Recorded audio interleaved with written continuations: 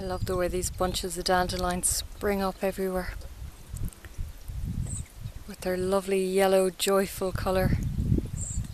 They're not looking for an invitation, they just seed themselves and provide nutriment to the bees and to humans too, with all their calcium and their diuretic qualities, helping our kidneys stay healthy.